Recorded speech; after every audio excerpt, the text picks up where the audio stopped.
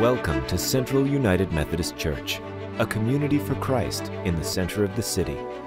Located in downtown Asheville and online at centralumc.org. Thank you for joining us.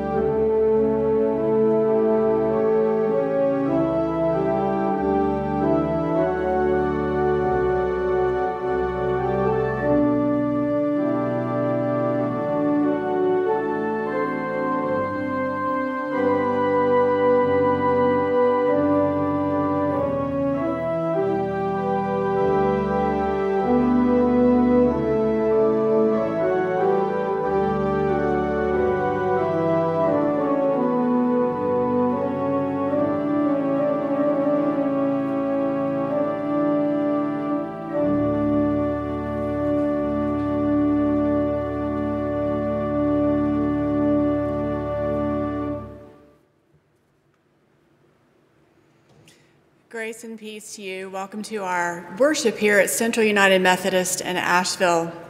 I'm Lisa Ritu, the Minister for Congregational Care here, and we have just a few announcements before we begin. One is that we want to remind folks who are in town that you are welcome to come during the month of March between 10 and 11 on Sunday mornings for prayer um, in the season of Lent. We will be socially distanced, masked, um, and as safe as possible. But this will be an opportunity for you to come and spend some time prayerfully in the sanctuary. Also, on our website, we started up our sermon talkbacks with Patrick and with Pastor Rob. And um, as you journey deeper into your center, you can listen as they discuss each Sunday sermon as we make our journey in our Lenten. And then there's a couple of things you might notice as we're um, having different camera shots around, and one of them will be the large um, structure of scaffolding that will be over. Yes, there it is. There's the large structure of scaffolding. We're taking the opportunity to spruce up the sanctuary, make some wall repairs, and get some painting done. So that's one thing that you'll see. And then one thing that you won't see, and we'd like to apologize for, is that our flowers didn't make it in time for the worship service this time. And so our apologies, please, to the Smith family who um, had, the, had the flowers put up for our worship service.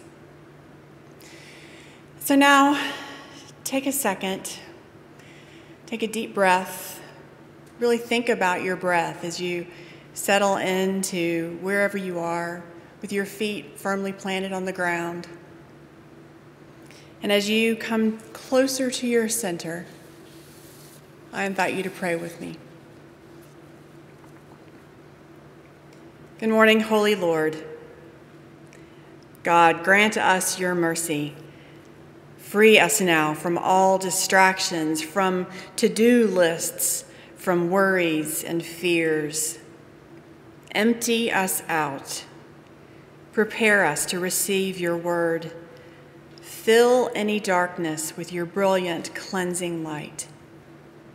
As you offer forgiveness and welcome us into your embrace, help us relinquish the guilt that trails us when we look upon our sins and shortcomings.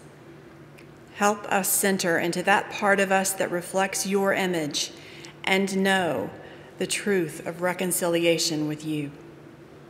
Gather us up from our wanderings, from the thoughts of the last few days, the last few hours, the last few minutes. Set our feet alongside your own as we all join you together in this time of worship. Lead us along on a path of your choosing. Create in us a clean heart, O God, and set our souls aright. Amen.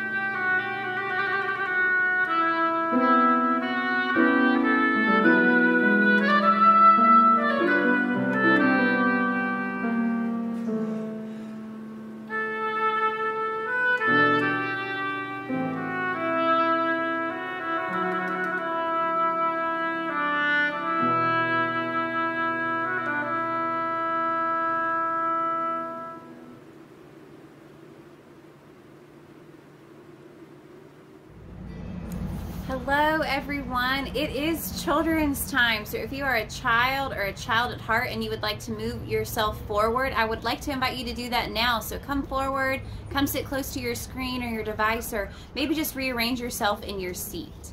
So, today in church, we're talking about how we can be like Jesus. This time of year, we talk a lot about Jesus before Easter time. We talk about how Jesus lived in the world and how we can imitate Jesus and live our lives in the way that Jesus did.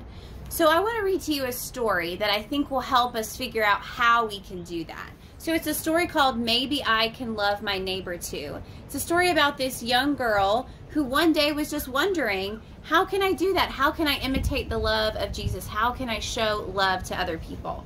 So here's our story. Maybe I can love my neighbor too. I live at the corner of 9th and 19th, upstairs in apartment 4A. A building is going up across the street. Week after week, it grows taller and taller, climbing up high in the sky. Mama, will all the new people be our neighbors too? I ask one day. Every single person is our neighbor, she says, whether they live next door or across the street or far, far away. I know I'm supposed to love my neighbors, but how can I love that many people? I ask. Mama gives me a hug. Oh, honey, she says, I'm sure you'll find a way. Maybe start by noticing the ways other people show love. A man walks by the construction site pushing a shopping cart that's stuffed with blankets and bags. The wheels hit a bump in the road and the cart almost tips over but one of the workers moves fast to catch it and sets it upright again. Helping someone who's just passing by is a way to show love.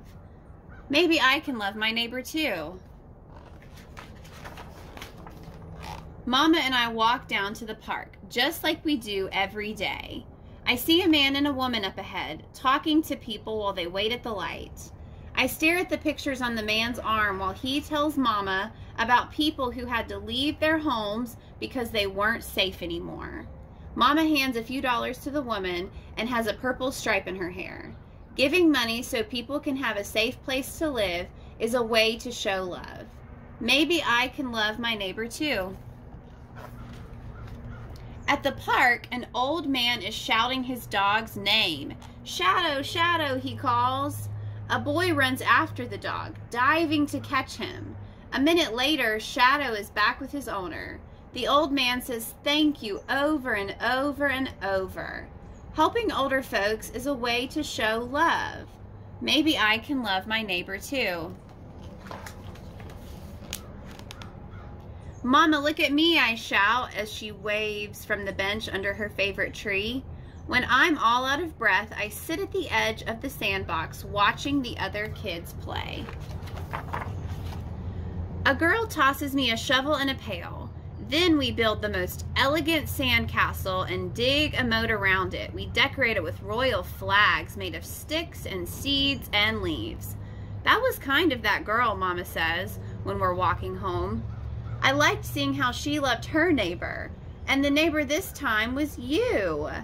Sharing toys with a new friend is a way to show love. Maybe I can love my neighbor too.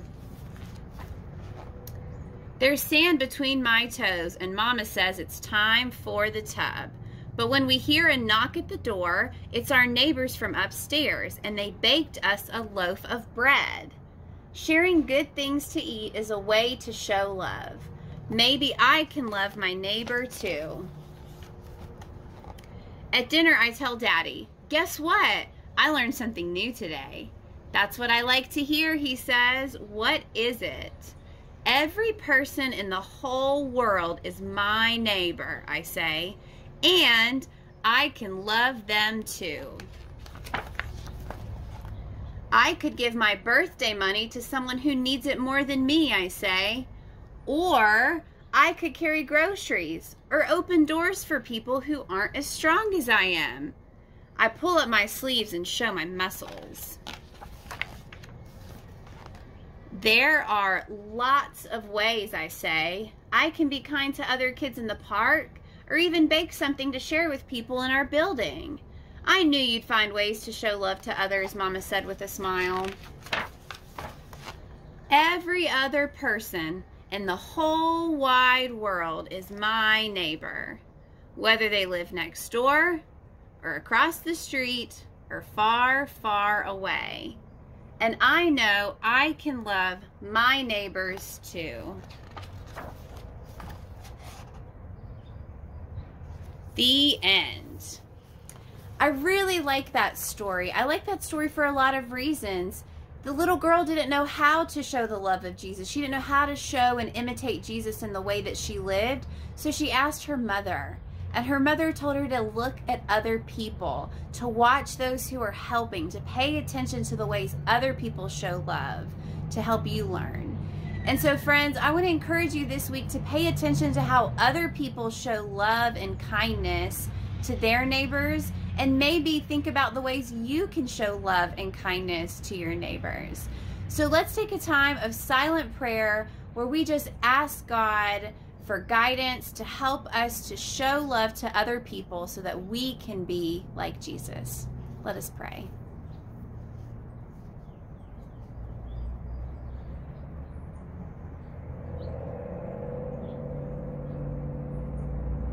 Amen. All right, friends, see you next week. As we enter into a time of prayer, I will remind you that on the website we have uh, a tab that drops down for prayer requests, and there you can fill out a, a prayer request with your concerns, your joys, anything going on in your life, uh, and we will have groups here that faithfully attend over those, uh, meeting by Zoom on Mondays, and our staff that also meets by Zoom on Tuesdays as we pray over those requests. And if you would like them to remain confidential, Please mark them as such, and they will only remain with the pastoral staff, uh, and Lisa will make sure that they get to where they need to go. Will you pray with me? God of the wilderness, you who led your people by cloud and fire, who provided manna from heaven, draw near to us. As we journey through the uncertainties of life, set before us a guidepost. Give us the bread of life to nourish us on our journey deeper into relationship with you. Remind us that from you flows all good gifts. Your mercies and love pour out like a mighty stream, and oftentimes we feel like we can only catch them in a paper cup. Open our eyes to see your love and grace all around us, in the smiling of a friend over Zoom, in the sound of birds singing in the morning, in the first glimpses of daffodils rising up to heaven. Lord, during this season, we confess that we have been tired the yoke of uncertainty, the burden of fear and doubt have grown heavy around our necks. We miss our families. We miss being together to celebrate the milestones of life. We feel like our toil is long and our reward is little. Draw us near to you, Lord. Help us to feel your embrace as we journey towards the center of our faith. Remind us that in you we find our rest, that you take every fear, every doubt, every heavy burden and make them work together for our goodness and for life. Hear our prayers this day, O Lord. Listen to the meditations of our hearts, to the groans of how long and the cries of the needy. Send your Spirit to guide us and comfort us, to bind us together as a church, and to carry us into the world to do your work. Help us to fix our eyes on Jesus, the author and perfecter of our faith bread from heaven and the source of all life, who taught us to pray, saying, Our Father, who art in heaven, hallowed be thy name. Thy kingdom come, thy will be done, on earth as it is in heaven. Give us this day our daily bread, and forgive us our trespasses, as we forgive those who trespass against us. And lead us not into temptation, but deliver us from evil. For thine is the kingdom, and the power, and the glory forever. Amen.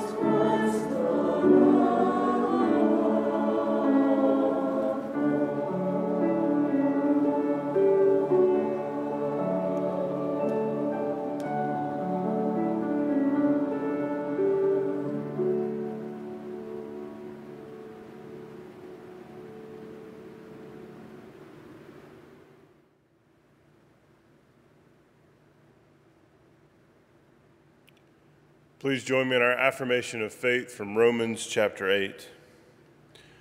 Who shall separate us from the love of Christ? Shall tribulation or distress or persecution or famine or nakedness or peril or sword? No. In all things we are more than conquerors through the one who loved us. We are sure that neither death, nor life, nor angels, nor principalities, nor things present, nor things to come, nor powers, nor height, nor depth, nor anything else in all creation will be able to separate us from the love of God in Christ Jesus our Lord. Thanks be to God. Amen.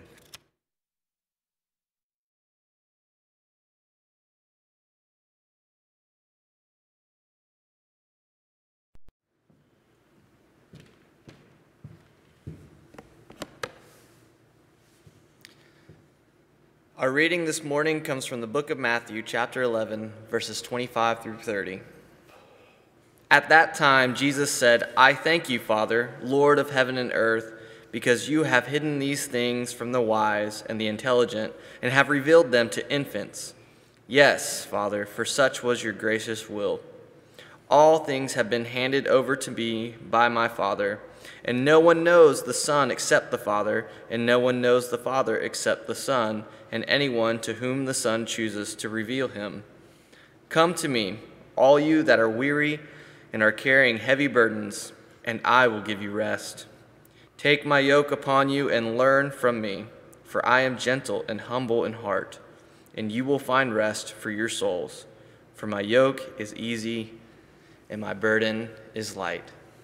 God speaks to us through the reading of Scripture, and we all say, Thanks be to God.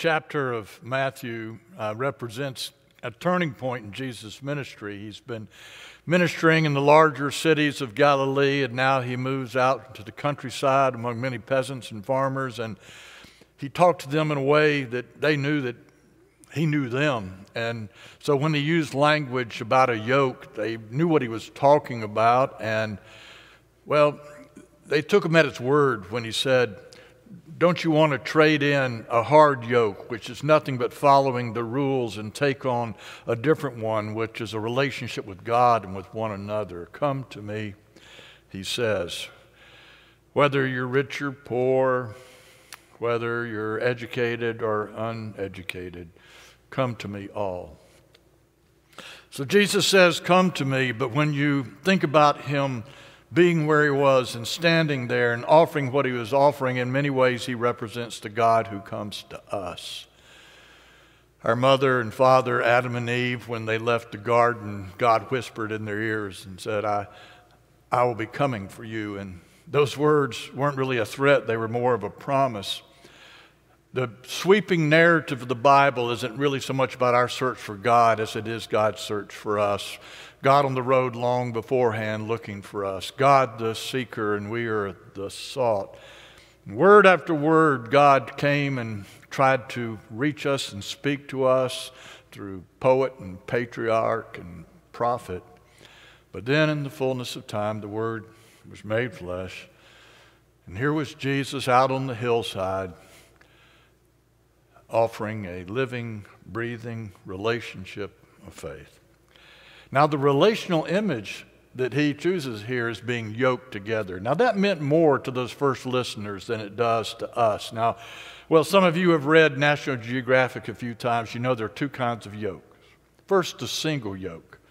You know, there it is about the shoulder, and going out from that will be buckets on the ends of poles. And even a single yoke is very efficient. A, a, human being can carry just about as much as a donkey. Of course, they're going to grow very tired and the shoulders are going to ache all day. Now, a shared yoke works quite differently. Well, it, it requires twice as many creatures, for one thing. But if they're a well matched pair, they can work all day long because you see, with the shared yoke, one can ease up a little bit while the other steps forward. They have company all day long, and by the end of the day, they're not done in. Why? Because they're part of a team.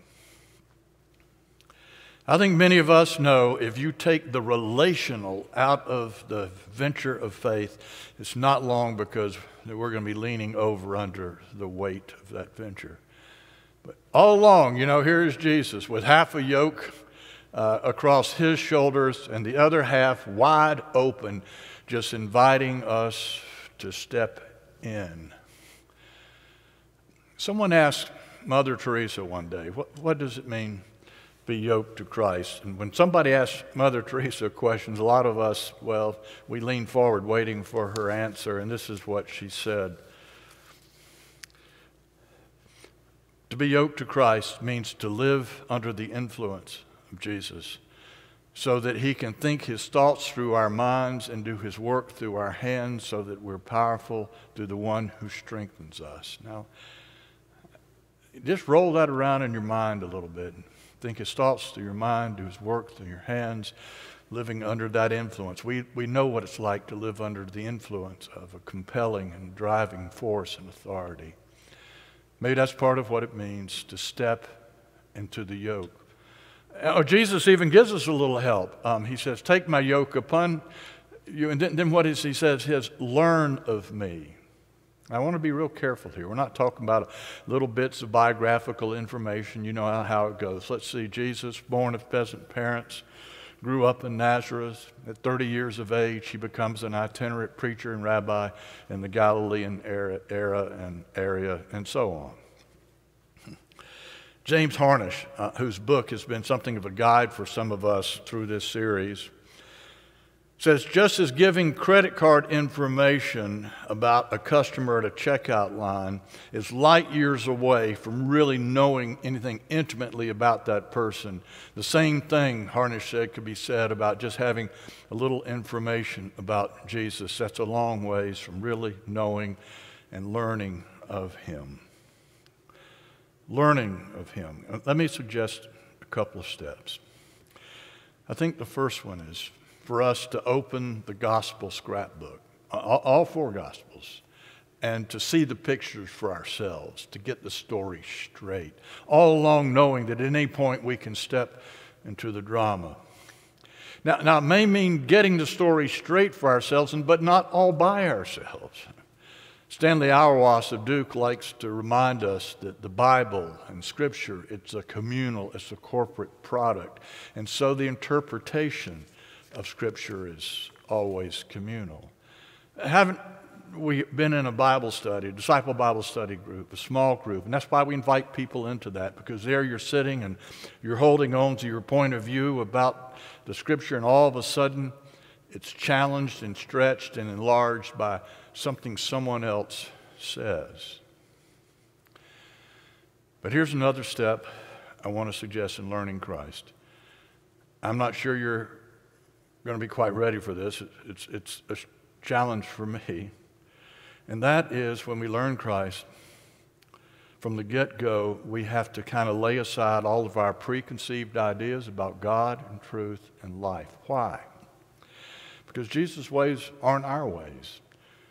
He's taking us into a kind of life that we would not get to if left to our own devices. Jesus wasn't interested in rehashing or reorganizing an old world, but in ushering in a new one. And this can be really challenging for us. Why? Because most of us like to think of things on the basis of past experience, previous concepts. You know how it goes. You see, you hear something a little new and strange, and what do we immediately try to do? We immediately try to put this new, strange thing into some kind of context that doesn't seem strange. This is how it goes. You are, er, you're encountered by a new phenomenon, and what do we say? What in the world? Listen to that. What in the world? In other words, we're trying to make sense out of the new by shaping it into what we've already known or accepted. And this is the danger of learning about Christ. You know. Through the years, there's been this tendency, even in the church, to whittle away at the edges. So it just fits comfortably into what we've already known and accepted. I love what Barbara Brown Taylor said about learning about Jesus. She said, You know, the best way to do it is think about standing on your head. And she went on and said, I'd love to do that as a child. I, I like to go into my backyard and I would stand on my head, and that would liven things up a bit. Like that, um, grass hung before my eyes like green fringe, and trees grew up, down, and not up. And the sky was like this great blue lawn that went on forever. And if I could maintain my balance, I could tap my toes on it. And my house, oh, it looked like at any moment it was about to fall off the yard. She said, I like to do this because this is a great way of saying, seeing old things in a new way. If you live in a world where trees grow down and not up, you know, anything is possible. She went on to say, she could almost hear Jesus saying to the crowds when he played out his message, maybe you want to just stand on your head for a moment, because that's what he was doing, turning an old world upside down. You know it, and I know it. Jesus didn't come along and serve up a standard, you know, fare of little already known souffles about life. No. He didn't say things like, oh, you're interested in the good life. Well, the good life, it's in finding and keeping and getting and guarding and hoarding. No. Jesus said, self finding is in self giving. All's lost, all found, all's found. We hold fast by letting go. He said the abundant life comes in the sharing of one's life and love rather than bottling it up for one's own consumption. How odd it was of God, how odd it was of Jesus. Jesus, who came from the glory, who came from God, who came from the thrones, you might say, chose the way of a servant. And if that's odd for God, it's also a little odd for us. So it takes a little bit of work when we're learning Christ. Oh, we can get it. it to, to, to finally get the moves and the rhythm of it. But here's one thing to say at the very beginning in learning Christ, be ready to be turned upside down by the one who knows which way is up. Okay. To be yoked to Christ is to learn Christ. And of course, it's to live Christ. I mean, think about this image. It's, um, an, it's an image of active participation. Why do you put on a yoke? Because you're ready to get and go out into the field. We're talking about putting into action in everyday life, in everyday places, what we have known about the ways and words of Jesus. Now, I just mentioned how challenging and at times perplexing the way of Jesus is. But here's what I've found as trying to be a follower. Every day I wake up, there is a way, a way I'm called to live. There's a path for me to put my feet on. You know, you and I know about that. It's a path of resisting the powers of despair and death, of standing up for the little and the least, of turning cheeks and washing feet, of praying for one's enemies, of loving the unlovable. Now, sometimes that's beyond me. There are days I can't quite live up to that. But as Paul liked to say, I'm running toward it. I'm running toward it. I've been told that I need to believe in Jesus, and that's a good thing. But then I hear Jesus saying, Take my yoke. I hear Jesus saying, Follow me. And that tells me something about what Jesus believes about me, about you. And that is, we have it in us to be like him. So, what are we talking about in living Christ? We're talking about apprenticeship, we're talking about discipleship. I was thinking this week.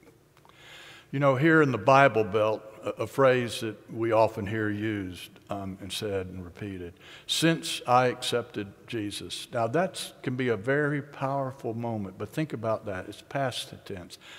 Accepted Jesus as though it's fixed, settled, a one time moment and it's over. I wonder if it's more appropriate to say, when I began my journey as a follower, as a disciple, apprenticeship, discipleship. I, I read about this lately, uh, not long ago. As, a man, his occupation is a lawyer. But if you, you, want to name him at the depth of his being, he would tell you that he's a banjo player. He fell in love with bluegrass music. He really loved to hear the riffs of banjo. And so one summer he took a whole month off and he came here to the mountains of North Carolina and he studied under a master banjo player. He just lived into the instrument. And when he went home, he said he began to use these techniques to strengthen and build up his hands and his fingers. And listen to what he said. I discovered it's not enough just to know something about the craft. No, you have to get it into your body all the way down to your fingertips, from the head to the hands. Look, this man will tell you sometimes he still miss, misses the riffs on a banjo. Uh, he's never been given any money to play full time. But you know what? He's a banjo player. As he likes to say, he hasn't yet fully mastered the banjo, but the banjo has gone a long way to mastering him. Could this be a parable of what it means to live Christ, to be a disciple? What we have in our head and in our hearts, finding its way to our hands and to our feet. Yoked to Christ. learn Christ and live Christ. And then, did you hear what Jesus said after that? This yoke is a different kind of yoke. It's, it's not going to be hard, it's going to be easy. I love Barclay's paraphrase. He said, It fits well. Yeah. If, go back to what we said in the beginning. It fits well because it's a shared yoke. Here is Jesus with one half of a yoke across his shoulder with the other half wide opening, inviting us in. And who is it that we're yoked to?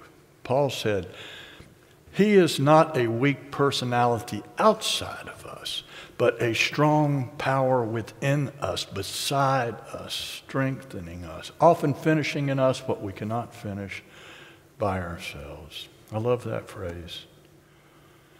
The yoke fits well. It wasn't so long ago somebody came up to me and said, Rob, um, after all these years, and they did stress the word all, okay? Yeah, I had to agree, a lot of years. After all these years, how, how does it feel about preaching the gospel? I responded in two ways. First of all, I said, it still makes me nervous. It makes me nervous because I know I'm speaking about one who is forever ahead of me, one that I'll never fully figure out as much as one who keeps figuring me out. Yeah. There's a bit of humility and nervousness about it, but here was the second part of my answer. I said, after all these years, I still find myself preaching with great enthusiasm. Why? Because the yoke fits well if you're interested in real life. When I was born, I got something that most of you got. It's called a birth certificate. That's, that's a pretty neat thing to get. I mean, a birth certificate marks another first one, another human being coming into the world. And that's no small thing. I, I, don't like people who say, I'm only human. I mean, that's a pretty good thing to mark that I'm a part of the race called human. And every morning I can wake up and move about the world with a, with a waking and a wondering mind. Being human, that's on the house, folks. We got that with our birth certificate. But being fully human. That's something extra. That requires a conscious choice on our part. And I would say if that's your hope, if that's your search, if that's your longing, then this yoke fits well. Because here's one who comes alongside of us.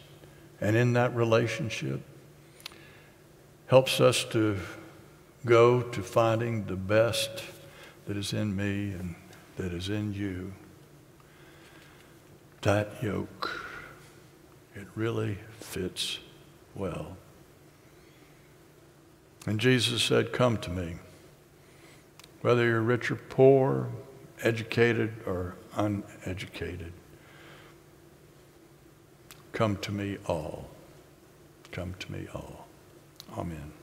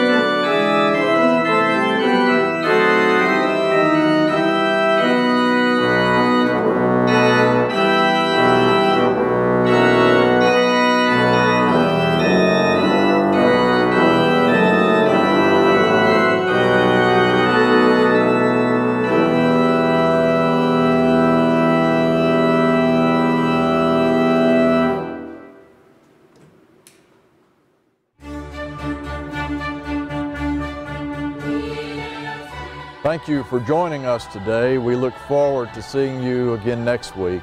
If you need to contact us at the church, call us at 828 253 3316 or visit us on the web at centralumc.org. Thank you, and may the peace of Christ be with you.